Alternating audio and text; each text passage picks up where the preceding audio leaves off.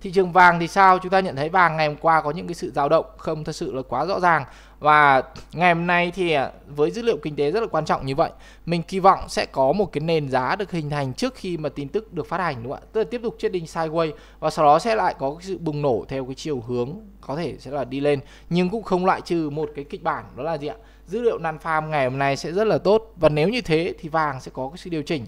Nhưng cái sự điều chỉnh này ấy, thực chất sẽ là cái cơ hội cho phép chúng ta tham gia vào cái mức giá tốt hơn tức là mức giá thấp hơn mà thôi. Tại vì cái hướng đi cơ bản của vàng trong những cái thời gian gần đấy á thì mình luôn luôn là bullish đối với thị trường vàng. Cho nên nếu như cái kịch bản ngày hôm nay á mà cái năn farm ra rất là mạnh và đẩy thị trường vàng giảm xuống những cái khu vực hỗ trợ ví dụ 2260 hoặc là những cái vùng thấp hơn 2240 đúng không ạ?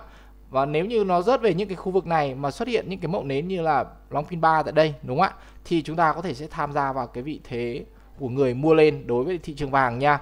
Còn cái kịch bản nếu như mà uh, năn farm mà tệ tức là dữ liệu việc làm yếu á thì khả năng chúng ta sẽ bị miss kèo tức là vàng sẽ còn tiếp tục tăng mạnh luôn mà không có một cái nhịp pullback không có cái tín hiệu pullback nào cả. Thay ờ, uh, pullback nào cả. Thành ra chúng ta có thể sẽ đặt một cái lệnh buy stop ở phía bên trên đỉnh 2.300 đô la một ounce đúng không ạ? Buy stop bên trên 2.000 vượt 2.000 Ờ, à, 300 đô la một ounce á, chúng ta sẽ tiếp tục mua lên và đặt dừng lỗ ở phía bên dưới của cái cây nến. Uh, cái cây nến uh, dao động khá là mạnh tối ngày hôm qua này nha tức là mức 2.279 đô la đúng không ạ? Chúng ta có thể đặt stop loss tại đó với cái lệnh buy stop phía bên trên này.